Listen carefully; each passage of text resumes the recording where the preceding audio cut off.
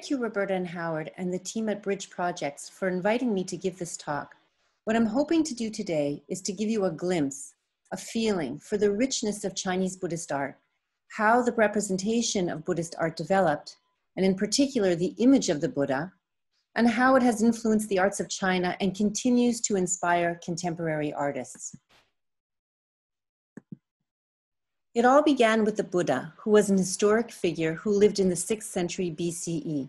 He was born into a royal family and was a prince from a Himalayan kingdom in what is now Nepal. The earliest extant Buddhist art does not depict the Buddha. Rather, it alludes to him, or literally, it embodies him. A stupa is a dome shaped monument, which originally was thought to contain the ashes of the Buddha because he had been cremated and later these stupas became pilgrimage sites. Some early Buddhist art did depict human figures. However, are, there are no extant depictions of the Buddha. Rather, there are aniconic depictions. So if you take a look at the top of this carving, you do see figural carvings. You see celestial beings, flying beings. And then in the lower register, and this is a bit of a detail, you have attendants and deities, de devotees who are kneeling down and praying to a bench or a seat or a throne, which evokes or symbolizes the image of the Buddha. Therefore, it's aniconic. Around the first century CE, anthropomorphic depictions of the Buddha began to emerge from three areas, each with its own distinct style that would later influence styles in China. In the far north, you have Gandhara, which is in present day northern Pakistan, Afghanistan. Then you have Mathura and you have Sarnath, both of them in India. The Mathuran style is generally characterized by colossal sculptures made of red sandstone and the combined influence of Hindu, Jain, and Buddhist iconography. Typically, the body is rendered with a broad torso and solid limbs. But I'd like to draw your attention to the refinement of the carving. The strength of the figure here is complemented by the treatment of this shawl, which is wrapped around the, the legs, the upper torso, and then thrown over the arm. So we get the sense that it is made of sheer fabric. So you have this juxtapositioning of a sheer, light, and delicate fabric against a strong, stone, robust figure. Gandhara was colonized by Alexander the Great, leaving a Hellenistic artistic tradition. This style combines aspects of Greco-Roman sculpture with local traditions and reflects the imagination and highly skilled hands of those who carved these pieces, often creating animated scenes. So keep in mind that these sculptures were most likely originally colored as well. And the materials that were used in Gandhara were schist, stucco, and terracotta. The Sarnath Buddha the Sarnath Buddhas are thought to be the greatest achievement of the Indian sculptor, and together with the Gandharan style, influence the representation of the Buddha throughout China and India. The fusion and transmission of style into China seem to have happened rather quickly, around the fourth century. This monumental gilded bronze Buddha, which is now in the Metropolitan Museum, is dated by an inscription and clearly embodies aspects from both of these sculptures, the, the Sarnath sculpture and the, the, the Gandharan sculpture, yet it clearly has its own style. Same is true for this piece, which predates the last image by about 100 years and is China's earliest known uh, dated Buddha. It creates, it, in fact, it makes sense, given its date, that the Gandharan influence is even stronger here as the Sarnath school had not even yet reached its, its zenith. This object is one of my favorites. It's a funerary jar that served the function of housing the soul. At the time when it was made, in the around the fourth century, it was believed that the soul of the deceased split into two aspects, the hun and the po. So I want to, I want to draw your attention to these little Buddha figures that decorate the jar, and they're seated in a cross-legged position. They're, they're definitely not as, as refined as what we just looked at. They're very folksy in nature. Uh, but what are they doing on a jar that was meant to house the soul? Uh, a jar that was found on the east coast of China um, in the fourth century. Well, it's possible that people were being just beginning to, to be exposed to concepts of Buddhism, and those who were proselytizing were borrowing concepts about the afterlife and other spiritual concepts from indigenous belief systems. And because the vocabulary had already been developed, quite well developed for hundreds of years, even hundreds and hundreds of years in China at that point. Um, and so instead of starting from scratch, reinventing the wheel, they, there, and because there was some overlap in some of the concepts, the Buddhists borrowed the vocabulary that already existed. And that may have also translated into sharing a visual language and combining iconography uh, on, on um, somewhat ritual vessels um, or um, objects that would have been used in a spiritual way. So how would these Buddhist images and Buddhist motifs even get to China? Well, there were some, there were, there were really two ways. There was overland and there were maritime routes. This is a map that shows just some of the maritime routes across Asia from the fourth to the sixth century CE. And you can see that from India, you could end up going up the east coast of China, up to Nanjing, not too far from Shanghai. And that is really not too far from where that funerary jar was found. The more uh, intuitive or obvious way may be the overland route. And you would be coming from India, you would be crossing the Hindu Kush, the Himalayan mountains, the Pamirs, the Karakorams, not particularly kind uh, terrain, very hostile, in fact, high mountains, snow capped. And after you made it over the mountains, if you actually made it over the mountains without freezing to death, you would end up in Chinese Central Asia, uh, which is mostly a desert called the Taklamakan Desert, where the sand dunes are about 100 feet high. And on the northern periphery, you also have snow capped mountains called the Tian Mountains and then on the southern periphery, you have the Kunlun Mountains, which are on the northern border of Tibet. And these snows fed, created rivers that, that fed into the desert and created oases. Those oases became the way stations for the monks and the merchants who were traveling in this regime. So making it across here was, was really quite a feat. It was harsh, this topography. And it was these oases, it was in, in these oases that Buddhism flourished alongside the wealth accumulated from the trade.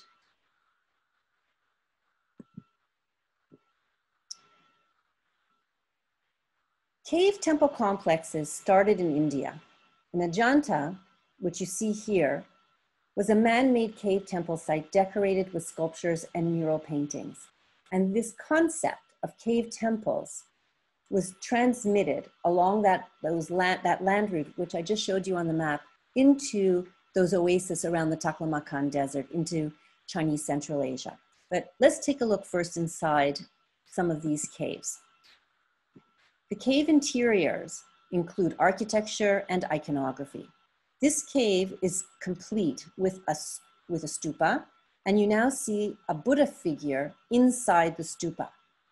So the stupa we I mentioned earlier is the dome-shaped monument that may have contained ashes of the Buddha or later in time may have contained ashes of a high-ranking monk, but it symbolized the Buddha. It didn't have any representation of the Buddha image. Now, as time has gone by, a few centuries go by, there's this conflation of putting sculptures or, or depictions, actual anthropomorphic depictions of the Buddha right in with the stupa. And you can see how elaborate the carving is. There is, in addition to this elaborate architecture, you have other uh, carvings which depict the Buddha at different stages in his life. Right in this, in this instance, he's shown here in a reclining pose, symbolizing his death and the moment of his complete enlightenment, which is called nirvana. His expression and the delicate placement of his hand between the ear and the pillow reflect his peace. Stone carvings were complemented with painted murals of a very refined nature. These two figures are bodhisattvas, beings who have accumulated enough karma through their reincarnations to reach nirvana, but delay it to stay connected to the material world and help all sentient beings get on the path to enlightenment. So now we've crossed back into Central Asia, around that Taklamakan Desert on the northern periphery, where we find a number of important cave temple sites. This cave temple complex, um, the idea of making cave temples and cave temple complexes really suited the topography of Chinese Central Asia around the northern periphery of the Taklamakan Desert. Uh, because you had rocks, uh, you had stone, I should say, and the stone wasn't very very hard. It really it allowed to it allowed itself to be easily carved and hewn. The style that we see these are stucco uh, sculpture fragments from the Kizil caves these at the top. And here you can see that there's a strong influence uh, with styles from Gandhara. And even from Persia this is a fragment of uh, a detail of a, of a mural painting. And so a new Central Asian style was evolving, which combined Persian and Chinese elements, along with Gandharan elements. This scene illustrates the cremation of the Buddha. And here you can see the, his casket, his coffin, and then the flames coming up. And he's surrounded by his mourners here praying down below probably you know, wailing, you know, closing the coffin. The bright blue and green pigments derived from lapis lazuli and malachite, and the other colors from natural pigments. Another site uh, on the northern periphery of the Taklamakan Desert is the Bezeklik Cave Temple Complex, where the exchange of people and cultures intertwined. This detail of a painted mural encapsulates the zeitgeist of cultural exchange thanks to the Silk Road. A Central Asian monk on the left, in dialogue with a Chinese monk on the right, rendered with skilled Chinese brushwork while integrating elements of iconography from India and Central Asia. This exchange on so many levels eventually made China the center of Buddhism, Buddhist art and culture, as it was waxing in India with the rise of Hinduism. At the heart of the matter were the monks. Hand in hand with the iconography were the texts or the sutras that were translated into Chinese. Fa Xian, a monk and translator, set out alone from China in the year 299. And he traveled through the western regions of China into the Central Asian area, across, not around, but straight across the Taklamakan Desert, over those 100 feet, foot high uh, sand dunes, uh, into, over the mountains, into India and Southeast Asia, and then returning by sea to China in 412. In search of, he went on this journey in search of authentic Buddhist texts and teachings. His, his journey, part pilgrimage to sacred sites, is documented in his travelogue, A Record of Buddhist Kingdoms. His contemporary, Kumarajiva, a Central Asian monk from the Kizil cave area, was, was also pivotal in the spread of Buddhist texts into China as he studied in Kashmir and in India. Uh, he studied the original texts uh, and translated from Sanskrit into Central Asian languages as well as into Chinese. Uh, perhaps the most famous of all the monks is Xuanzang. Uh, and he was a monk translator who lived in the seventh century in the Tang Dynasty, in the period of the Tang Dynasty. He was compelled to resolve the issue of apocryphal Buddhist texts during his lifetime. He set out undercover to Central Asia and India because it was illegal, in fact, to travel in those regions at the time. Um, and he set out to acquire authentic texts. Upon his return to China, after 17 years on the road, he devoted his life to text translation. And so the reason why he was compelled to do this is because there was just, they had lost the thread of what was authentic and what was apocryphal. The text had become so commingled and corrupted uh, with, um, with misinformation um, that, you know, it was very hard to really understand what was genuinely a Buddhist text.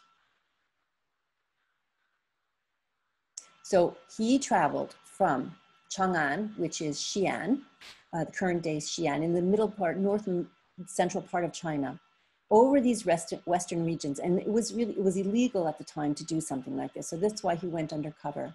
And then from here, he traveled overland uh, along the northern periphery of the Taklamakan Desert, and then went even higher up into what is current day Uzbekistan, uh, over into uh, uh, Afghanistan, northern Pakistan, and then down into this is where Gandhara was, and then into the Mathura area, into the Sarnath, where the Sarnath uh, school was, and then well, it's not exactly a straight line. We're not really sure if he went this way first or, or around here afterwards, but he makes his way eventually uh, uh, over here to the southern part and then is able to cross back over, up again, and then back into China, over the mountains, and then follows the southern periphery of the Taklamakan Desert to this to these oases, which were Buddhist kingdoms. Khotan was a major Buddhist kingdom.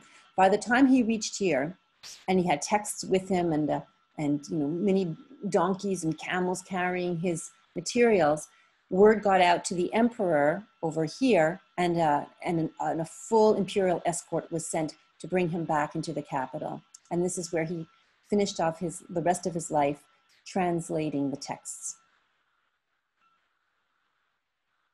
His journey, Xuanzang's journey, was filled with adventures, including even being kidnapped uh, in one of the oases on, the, on his way out on the northern periphery.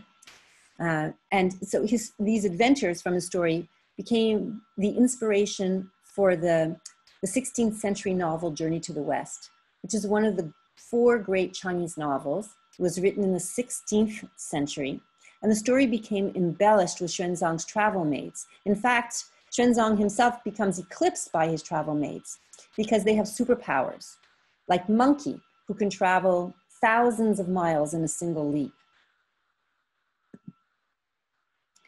Journey to the West or Monkey is arguably the most popular East Asian story, even today, and it continues to inspire. It is one of the most famous Chinese operas. And in its traditional Chinese opera rendition, it includes martial arts and antics, especially by Monkey. Um, and it is, and in its most recent contemporary version, uh, Lincoln Center, it is a mixed media, choreography, and musical. Not to mention the inspiration continuing with his biopic, which I recommend watching. It's actually quite good, and it was produced by uh, one of the most um, talented Chinese uh, Chinese directors, Wong Kar Wai. So back to the caves. If you are traveling up the Yellow River from, from uh, the city of Lanzhou for about 10 hours, you'll come across this site, which is called Binglingsi, and which has a precedent in the Bamiyan caves in ancient Gandhara, which is now Afghanistan. This is a, this is a, this is a, a, a, an image of of Bamiyan, and you can see here the, the place where a monumental Buddha would have been, and another one over here, and then you see these dots over here. These were, these were the cave temples. Go back. The monumental Buddha, uh, which stood until 2008, uh, is, is pictured here. And then in 2008, it was unfortunately blown up by the Taliban. At the crossroads of the Silk Road in China's western regions is the oasis of Dunhuang. So once you cross these mountains, and whether you go along the northern periphery of the Taklamakan or the southern periphery of the Taklamakan, eventually you're going to end up here at this juncture. And that is an oasis called Dunhuang, which became a very wealthy trade place with many Buddhist adherents who commissioned cave temples called the Mogao Caves. This complex has 492 decorated caves and niches. There, some of them are extremely large caves and the niches can be very tiny, and several other undecorated caves that were residential spaces for the monks and the artist community. It is built into a sandstone cliff and it is surrounded by sand dunes. The site was active from the 4th to the 14th century and then suddenly was abandoned. Uh, there was a shift from, and this may be explained because there was a shift from land trade routes to maritime routes, result, resulting in a, a, decline in wealth in, in these oases as well as a changing political situation. There were invasions coming from Tibet uh, and other surrounding areas, and a general instability in the area. As a result, the wooden structures that originally protected the entrances to the caves, they would have been, you know, for example, here, this wasn't originally just exposed to the elements, they, they eroded. Sand blew in and the cave blew into the caves and filled the caves. And the dry climate, together with the dry climate, it only rains, you know, a couple of millimeters uh, every year, uh, inadvertently protected the painted murals and the sculptures from being completely destroyed. The site was rediscovered in the early 1900s, and it looked something like this when it was rediscovered. But since the 1940s, it has been properly protected uh, a door has been put on every cave. Some of the niches are still exposed. Um, some of the murals are still exposed like you see here, but these were already in, in pretty bad shape. And originally there was probably a much larger wooden structure. You can see remains of it over here and then a bigger one over here that would have covered it. So that hasn't been reconstructed. When it was rediscovered, the site, when the site was rediscovered in the early 1900s, a hidden cave within a cave was also, was also discovered, and it was filled to the brim with manuscripts and silk paintings. So this is a very large cave. And over here, there's a little window which had been all sealed up by over here. It wasn't so obvious, but inside this little cave were the documents and the scrolls the, they were all scrolls. They're scroll documents and scroll paintings. You have silk banners. And among the, included in the cache was the oldest known book in the world to have survived intact. It's an illustrated Buddhist text in its Chinese translation, which is now in the British Library. It's the Diamond Sutra. So let's take a look inside a few of the caves. Cave 254, which dates to the 5th, 6th century, is pretty much intact and was never restored. It is essentially a 6th century capsule of Silk Road Buddhist art and culture, architecture, and iconography. The central pillar and the seated figure call to mind what we saw in the Ajanta caves. So here you have a central pillar and a central figure. And if you recall, this was the Ajanta cave that I showed you previously.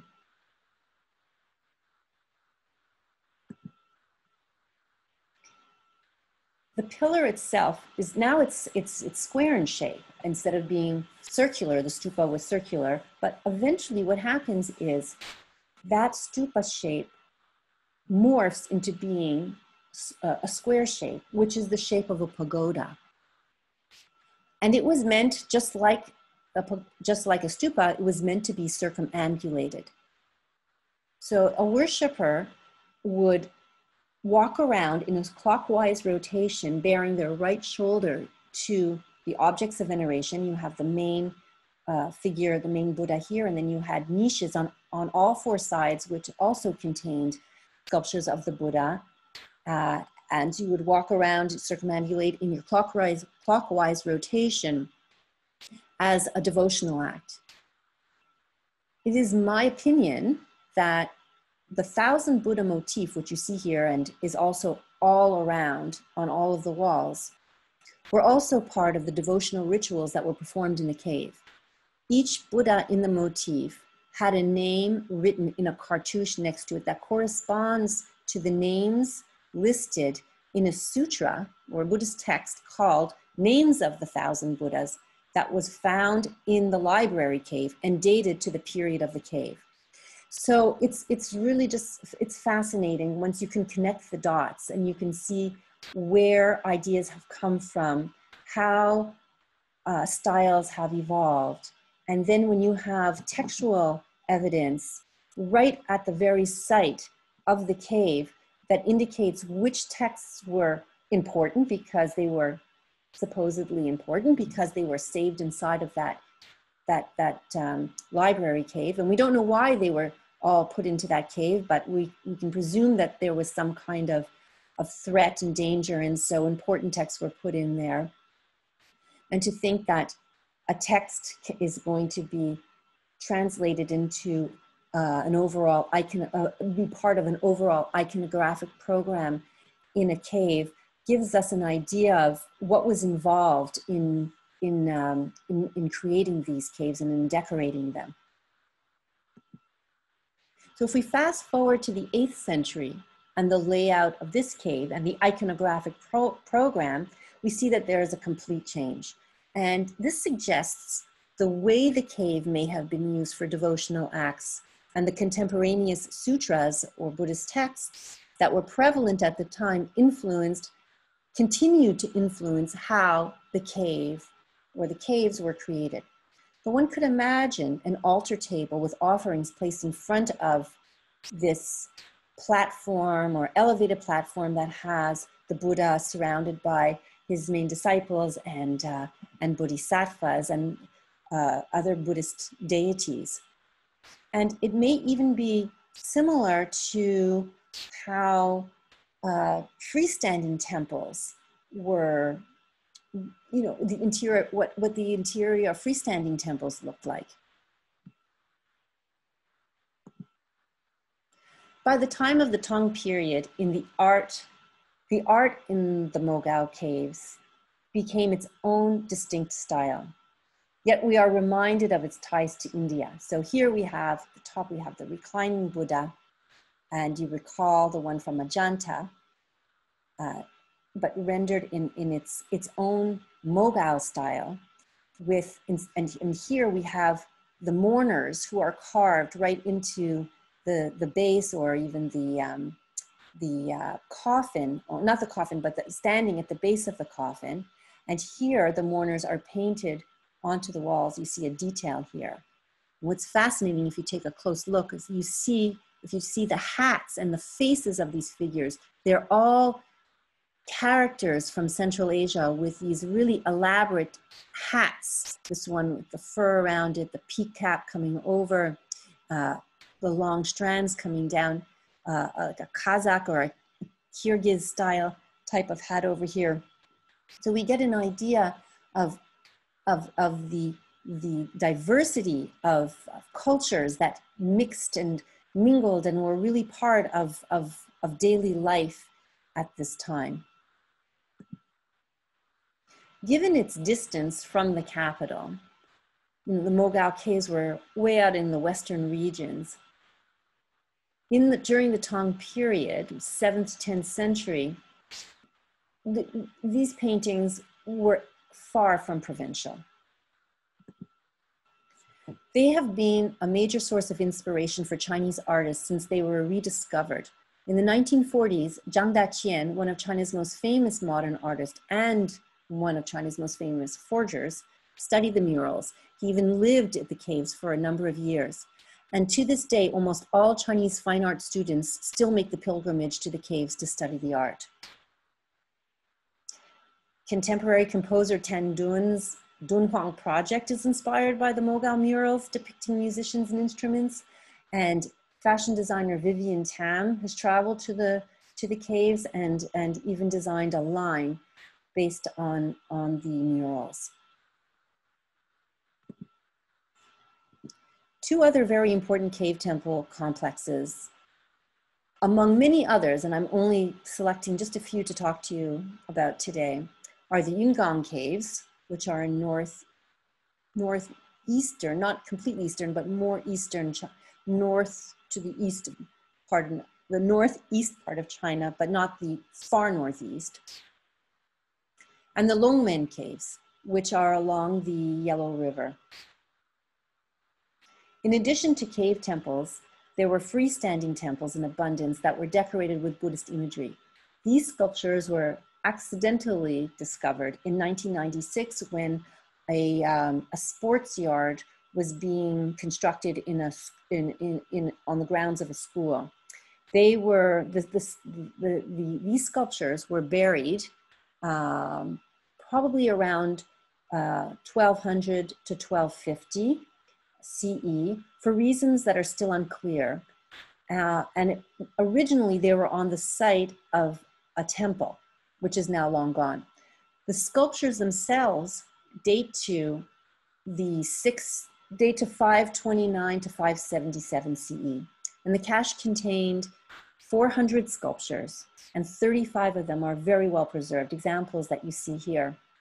Plus, there were coins, ceramics, lacquered wood, and cast iron fragments. These sculptures are arguably from a golden age in Buddhist art. What was so surprising when they were discovered is that no one had an idea that such sophisticated and skilled Buddhist sculpture was being created in the sixth century in Eastern China, indicating that there is still so much we know we don't know about the evolution of Buddhist art in China how and where it evolved, and how it connects to Buddhist art and culture that was transmitted to Korea, Japan, Vietnam, and beyond. So these, this cache was found much more to the east from where the last set of cave temples that I showed you, uh, the Longmen caves and, and, the, and the Yungang caves, which in themselves are quite far east from the Taklamakan region and from Dunhuang. The Tang Dynasty, which dates from the 7th to the 10th century, is revered as China's golden age. The capital itself had 100 inhabitants within the city walls. The diverse influences, the culmination of styles from India and Central Asia, converging with Chinese artistic techniques, reflect the cosmopolitanism of Tang China. And these are just a few examples of the height of Tang Buddhist sculpture. You have a lacquer piece, just quite large, and it doesn't weigh very much because it's hollow. And it was used uh, in Buddhist processions.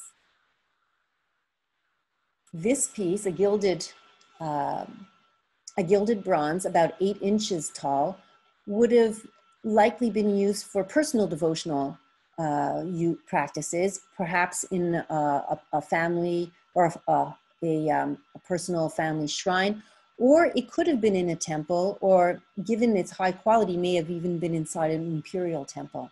And then you have this uh, exquisite torso, elaborately carved.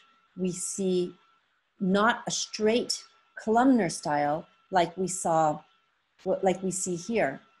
Here, the emphasis is really much more on the face, the facial expression, the eyes. And even though it seems so simple, these objects are able to, to convey a sense of inner peace. The bodies themselves are not, you don't get a sense really of the, the, muscles or the body shape. You get a sense of the, the, the, clothing that they're wearing or the, the garments that's, that they, they have uh, over their bodies, but and even the layers that are there. And in this case, you see the, the jewelry and the adornment, and there's an emphasis on that. But not so much on trying to make it, trying to expose a shape to the body. And there we see a big change by the time we get to the Tang Dynasty. This hip throwing that comes out, it's called a tribhanga. It's almost like a dance position. And, um, we, and we, we get a sense here also of the, of the stomach muscles and everything would have been in, in perfect proportion. The next major dynastic period, the Song dynasty, 10th to 13th century, saw a huge loss of territory compared to the Tang. Essentially, the western regions and the area, which is now Mongolia, that had been part of the Tang Empire, empire was lost. The vibrant openness of the Tang shifted to a more inward perspective, and this sentiment manifested itself in the arts of the time. This detail of a hand scroll painting depicts a pagoda on West Lake in Hangzhou and reminds us of the architectural achievements in Buddhism, which later became the source of inspiration in decorative arts. The most significant development in Buddhism during the Song dynasty was the flourishing of Chan, or Zen Buddhism, and Zen is usually associated with, with Japan, but it originated in China. Chan Buddhism was a major Chinese Buddhist sect attributed to Bodhidharma that emphasized attaining Buddhahood through enlightenment of one's own mind. Bodhidharma, a Central Asian monk from the 5th or 6th century, was said to have meditated in a cave, staring at a wall for nine years, Nobody was paying any attention to him. He ended up uh, in, an area um, where the Shaolin, in an area called uh, the Shaolin uh, Monastery or temples. It was, a, it, it was an important Buddhist center and still is. Uh, and it's renowned for its Buddhist, uh, for its martial arts um, training. He ended up there um, and found, apparently found a cave to live in and just stared at a wall, stared at a tree, just stared and meditated for nine years in, until he really caught the attention and the, the trust of the, the local Buddhist community. And from that point on, he was, he was able to develop, uh, form his, his, his sect of, of Chan or Zen. And as we all know, that, that form of Buddhism went to, to Japan and, and still flourishes today. Whereas in China, after the Song dynasty, it kind of faded out. Yet its influence is still so powerful. The contemporary artist Song Dong did a 10 day performance silently facing a wall in homage to Bodhidharma, and this is a still from that performance.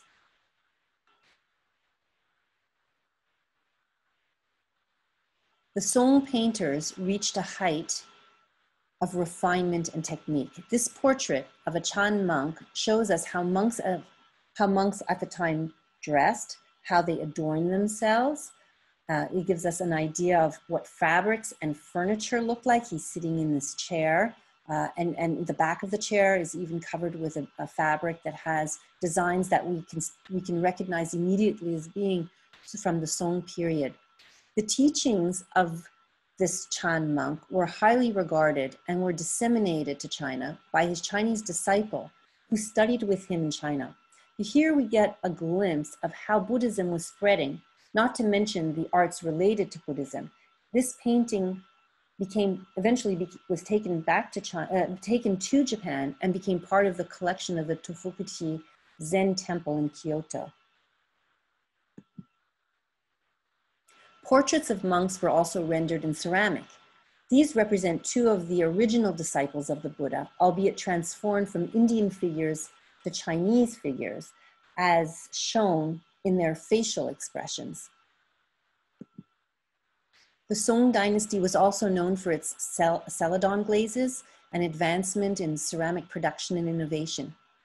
The subtle color of this celadon suits this ceramic sculpture of a bodhisattva. And by the way, I, a bodhisattva is, is um, a Buddhist being, is, is a Buddhist who has attained enough good karma and has gone through enough reincarnations and has accumulated enough wisdom and enlightenment to uh, make to end there to to get to the final goal which of, of a buddhist which is nirvana.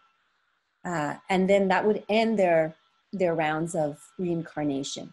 But they decide to stay connected to the material world to this to help all sentient beings get on the path and so in, in a way to demonstrate their connection to the material world they're often bejeweled um, and another explanation for, for the jewels uh, or the, the, the, the, adornments on bodhisattvas is that the Buddha himself was originally a prince and presumably a bodhisattva at the time that he was born. Um, and being a prince, he would have been adorned with a lot of jewelry. So here, the subtle color of this celadon really suits the ceramic sculpture of the bodhisattva and her serene expression. Had she been colorfully glazed like the disciples in the, in the last slide, the figure would not convey the same feeling. Perhaps as a complement to the minimalist glaze is the elaborate modeling of the jewelry in the garment where the ceramicist was able to show off uh, their technique in, uh, in modeling. The fall of the Song dynasty to the Mongols led to the opening up of territory once more, uh, almost regaining exactly what we had in the Tang dynasty. All the western region opens up because that was under Mongol control, and the arts flourished. The influence of the Mogao caves continued, albeit it was coming to the end of the height of the period of the Mogao caves and slightly, you know, around the, four, uh, in the 14th century, there's um, a shift and uh, and people are moving away from those caves because of the instability in the region. But but it, it's it's important to note that the influence of the art from the from those caves is transmitted right into the heartland of, of China. In Hangzhou, where uh, which which was um, a, a, an important cosmopolitan center, the iconography in a cave temple site there, thousands of miles away from the Mogao caves, is directly emulated. As are the Buddhist motifs and styles shared between Mogao painters and sculptors from other parts of the Chinese empire, as well as the sharing of motifs between textile artists and, uh, and, and metal craftsmen or metal workers. Buddhist art and culture continued to evolve during the next 600 years under the Ming and Qing dynasties. This monumental head always moves me when I walk past the Metropolitan Museum. It's in the stairway between the, the Chinese galleries on the, on the upper level and the Egyptian galleries on the main level. And it reminds me of a piece by a contemporary artist, Zhang Huan, who is a practicing Buddhist and has created a number of artworks that include a Buddhist iconography. In this piece, the, the, the, Buddha, the Buddhist sculpture on the left is made out of about 20 tons of incense that was collected from many temples in China and then he molds it and compresses it into, into the shape of, of, the, of the sculpture. The decorative arts with Buddhist themes like this set of mourners surrounding the Buddha at his death tell us, thanks to its inscription, who and why this set was made. It was commissioned by a monk as an act of devotion.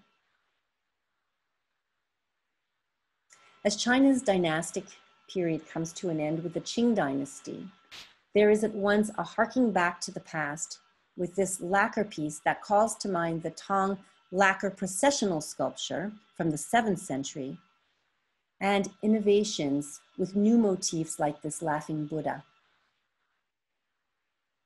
I'd like to close with a poem by an American poet, a Buddhist who lived in Vermont. It is a reminder that Buddhism has inspired people for millennia and continues to resonate in contemporary culture. On the road to Buddhahood, ever plainer, ever simpler, ever more ordinary. My goal is to become a simpleton. And from what everybody tells me, I am making real good progress. Thank you.